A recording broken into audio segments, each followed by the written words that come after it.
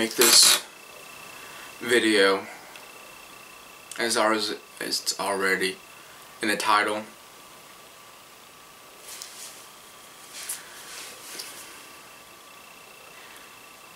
I'll admit straight ahead, this is already a planned video. Like, it's, it's I'm not filming this on the day of the funeral or even the day after. Today is actually currently a Monday. Funeral was Saturday. So, two days afterwards. I was tempted, but I want to look nice in the video, and I don't want to wear no regular clothing, so I want to wear what I actually wore in the funeral, minus the tie and, you know, whatever else. Well, as it is in the title of the video, um, my grandfather, Steve Jones, or as I called him, Poppy. Me and all my other cousins, and pretty much everyone that was my age or younger. Me, Denver Levi kind of started that a little bit. Or, yeah, we're the ones that kind of like, once they started, started it because Nana wanted us, Nana meaning his wife, wanted, wanted us to call him Poppy. That was the name that we wanted, that she wanted us to give him, and it, it kind of stuck, so we kind of always called him that, you know. Didn't call him Steve, never didn't call him Grandpa. Don't didn't want to make him sound, didn't want to make him sound old. That was the last thing we ever wanted to do. So Poppy was it. That's where it ended. Started and ended, and it just stuck. So Poppy. He uh, suffered a uh, heart attack.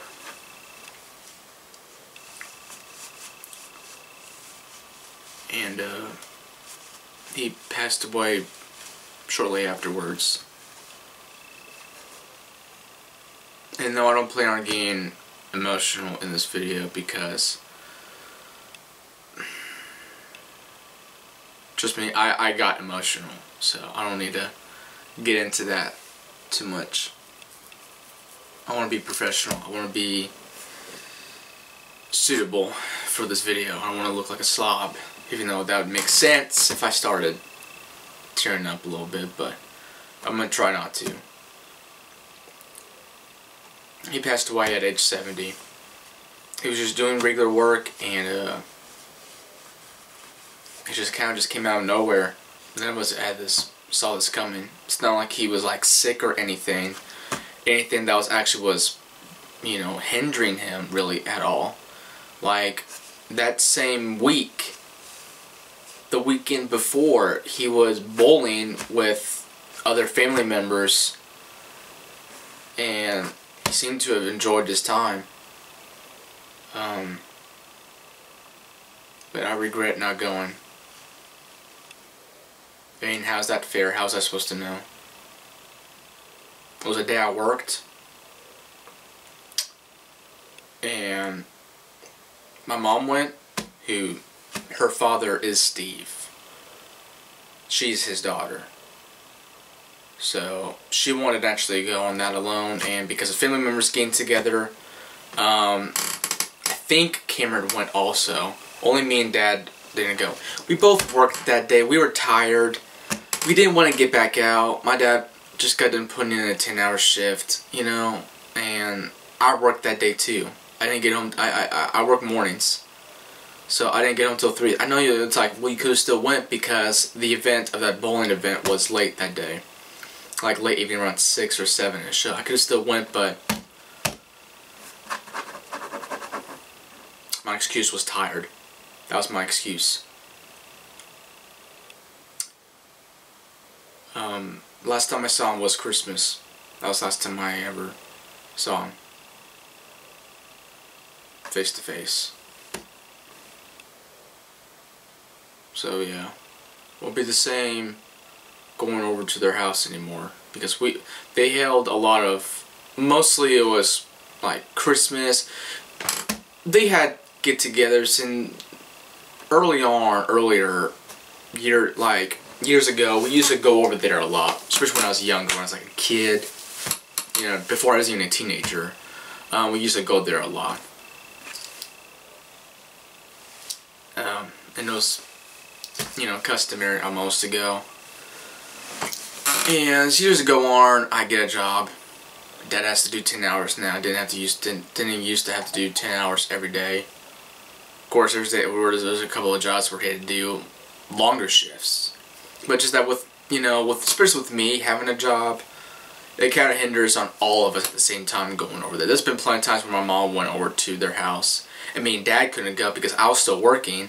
Dad would be home, but then he wouldn't be able to go because he'd have to wait for me to get home, even though I have a key to the house.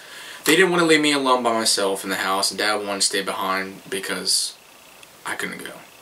Because I worked. Our days were they would normally would have gone, but I worked, and it kind of messed up plans for everyone to go. Uh, well, mostly for my dad, my mom, and probably Cameron still would. They would. Cameron would definitely always would go with mom. Dad would always would stay behind for me. I hate going to funerals. I'll be honest. It just. I know we all say can agree with that. You always hate going to funerals just my god, they are really the most depressing thing. It's the most depressing event ever. Nothing compares. It really doesn't. I mean, you're just someone being alive all the time. You know, and just... You just never expected to see this coming anytime soon. We, we didn't see this coming at all. Like I said, he wasn't sick. Nothing was really hindering him at all. They just kind of came out of nowhere. I don't know if it's if it's age. It could be. I mean, 70. I mean, you can have a heart attack at any time, even in your 50s. And I shouldn't say that because my dad's in his 50s. You can have them in your 40s. You can kind of relatively have them at any time in your life. But the, obviously the odds and in my age group are is so small. You never hear cases of people my age group having heart attacks. That's something that you get when you're older. As you get older, the odds of that increase exponentially, and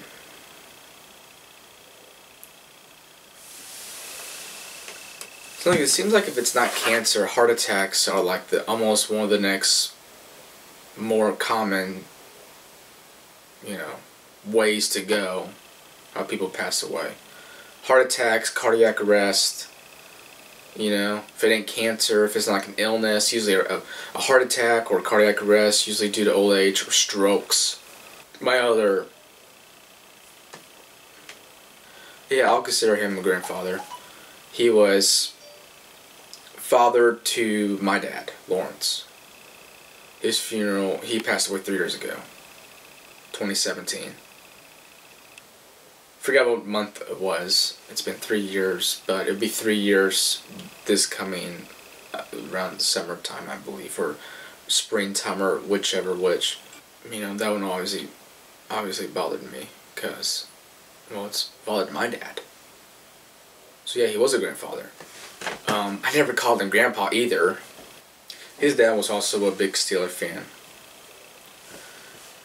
The only times I can remember and it's really just one time that I can remember in somewhat recent history when someone outside of our intermediate family, meaning like, you know, my parents or my brother, ever saw me actually outright cry and break down like uncontrollably. And this is, do you know, this is when I was a lot younger, a lot younger. I'm talking, I was maybe 14, 13. this was a while ago. It's 2011, I just see that. So that's nine years ago. I'm 21 now. I'm 12. Maybe going on 13. Around this time. So I don't think we're even quite a teenager yet. Maybe I am a teenager. I don't know. I, I, I can't think right now. Um, it was a his his dad was over at our house, our old house, at the Bumblebee house, and we were watching a Pittsburgh game. It's a playoff game. They were playing the Denver Broncos. Tim Tebow. If you know football, you know what happened. Long story short, grinded out game, won in overtime. Pittsburgh came back, tied it up, won in overtime. First play in overtime. Tim Tebow simply throws a little simple slant route to Demaryius Thomas. Scored a touchdown, and I break down like a little bitch. Uncontrollably, because when he scored a touchdown, it was over. And when I saw him start to streak down the field, there I didn't see any Steeler catching. He was just break. He was just all out speed. He was just all out at that point. That he was obviously was the fastest guy on the field, and it showed. And I broke down. And his dad was there to witness it, and he, yeah, he comforted me. It was just, you know, it's just a game. It's just, it's one game, at the end of the world. But he's obviously a diehard Steeler fan.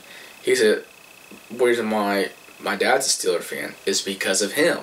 Because I'm a Steeler fan because of my dad. So it's a current trend of fathers influencing their son of who to root for in the in the world of football. But Pittsburgh's got the biggest fan base in the world, so it's kind of a trend. You know, Pittsburgh's got the biggest fan base in the world. Like, they probably are the best, most well-traveled team in the world every time they travel anywhere, half the fans in the stadium now these days are Pittsburgh fans. It seems like it's ridiculous. Of course, they got a lot more when they probably were the Killer Bees when they had Ben Brown Bell. You know, when they were really big.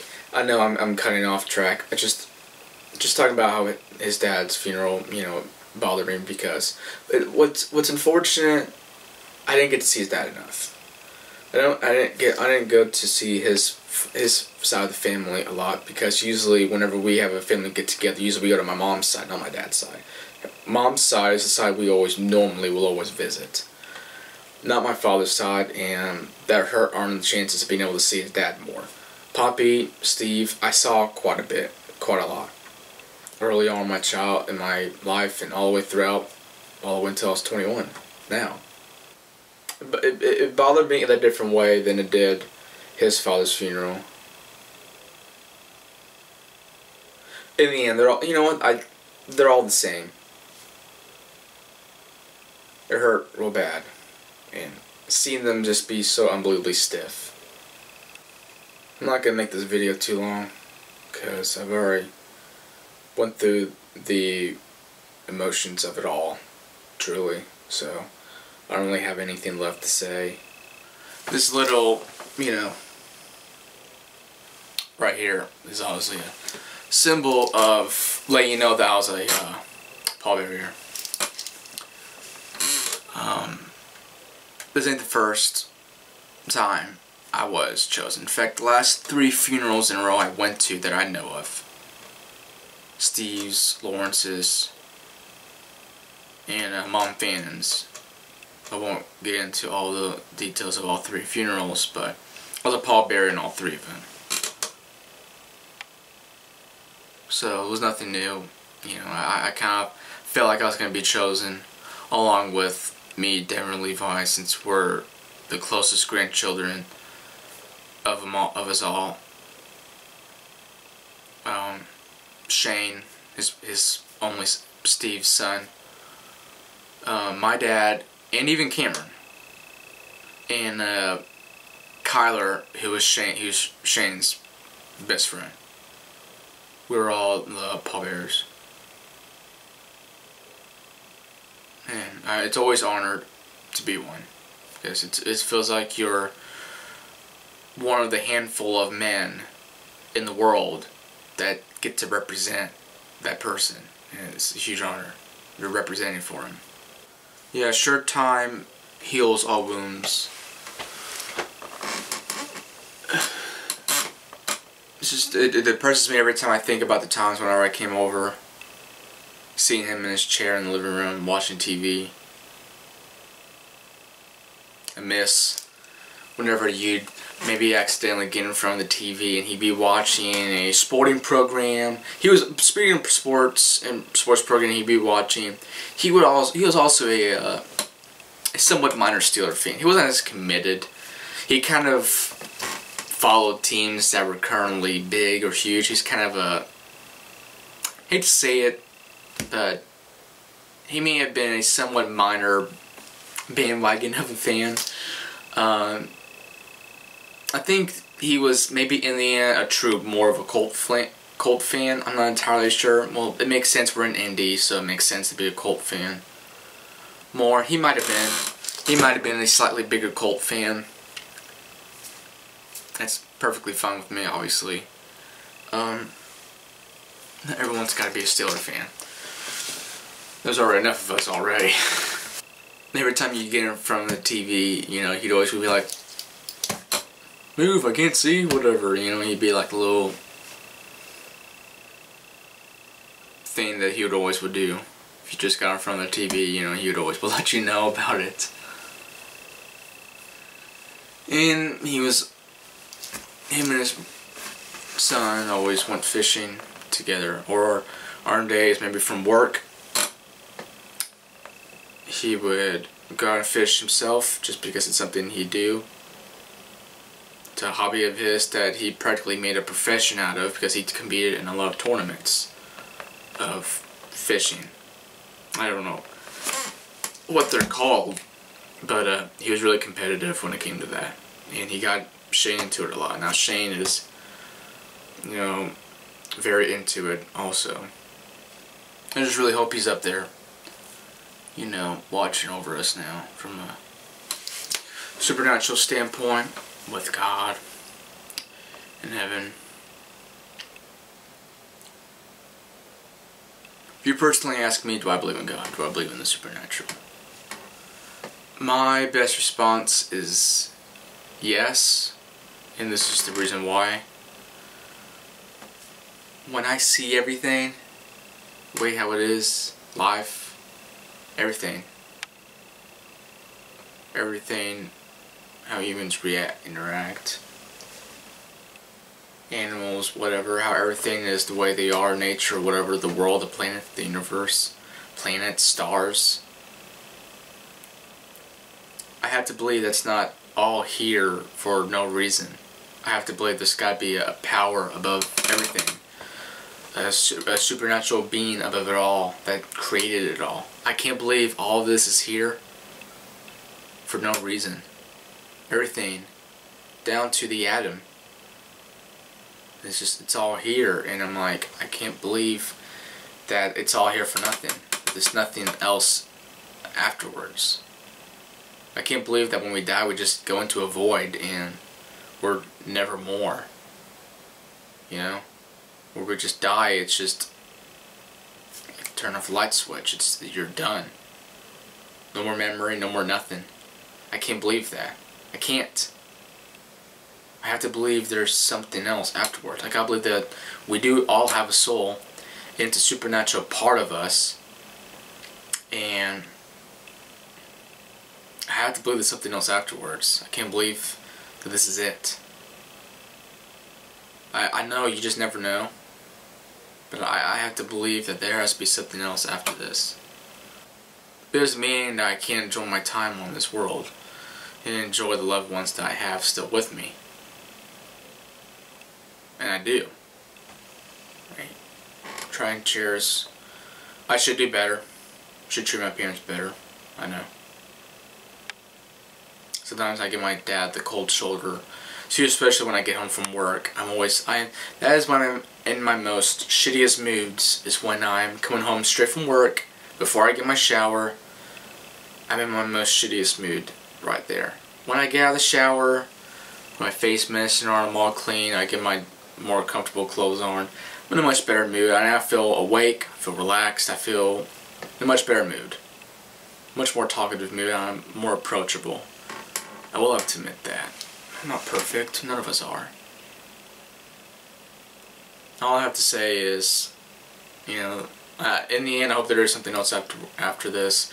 I hope Steve's up there, you know, hoping to see us one day. We hope to see him one day. I didn't make a post on Facebook, and I'll show it to you right here, that I made on Facebook. Kind of trying to show my best way of how much I miss him, and there's only so much words can do. It's my best memory is probably when they came to my graduation party and my graduation itself. They came to both the party and when I graduated. They were there, and when I think about it more, it, it just means so much to me. It's, it's just a big, important part, piece of your life when you graduate on anything, even if it's just high school, which everyone graduates from. It's still a, a, a gargantuan part of your life, and I'm, I'm so glad I have it on camera. I got my dad to film it. And it's so huge. Do I wish I filmed more that day? Yeah, of course. I wish I actually managed to bring my camera down there and I managed to film everyone, hey everybody, you're in my video, yo, let's see what's up. I probably should have done that instead. I should have actually held onto my camera and be like, hey guys, what's up, and film my fellow classmates because, dear God, I actually truly do miss them. I do really miss my class of 2017. I really miss school because um, it's something that I did for practically almost all my life. Most of my life, like 90% of my life, I was going to school. Started from preschool and ended in your 12th grade. And it's closing a big chapter on your life, in a way. And I miss it. I'm nostalgic of that. I'm, I like to reminisce of that particular past a lot. And I know I'm getting off topic. You know, this is supposed to be a, I want to make this video about Poppy. About Stephen having to cope with having to live life without him. It's gonna be rough for a while. But uh we'll all have to get through it in our own different ways. Yeah, I don't know why you mentioned my graduate. Yeah, he was there. Like I said, it's a big part, and I'm glad he was there. I think Ashley was there also. Yeah, I believe she was. Ashley, Stephen Wanda, and of course my parents and Cameron. I'm glad that he managed to see his two his two children, all his children practically, see them get married. Especially Shane and Ashley. Being able to either walk Ashley, you know, down the walkway to be married and got to witness Shane get married to both of them, so that was a big thing that he got to see them get married, and that's that's important. I'm, I'm glad he got to witness that. There'd be something missing, in my opinion, in his life of not being able to see your children get married. That's that should be something that every parent should have a privilege to say they got to witness before their time. Before their time has come to an end. I feel like every parent should have a privilege to see their children get married in every shape or form. To sum this all up, he'll be married. He'll be missed. Gonna miss going holiday with him, with when we're all together. That's always fun. Won't no longer go camping, even though we've not really done that in quite a while. At least I haven't, and I hate to admit that. Life, shit gets in the way, and that's an awful excuse, but it's the truth. Yeah, he'll be, he'll be missed when he died, part of me died.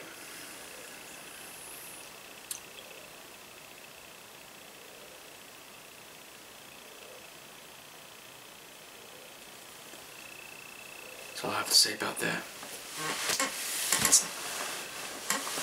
That's it, that's how I can all sum it up.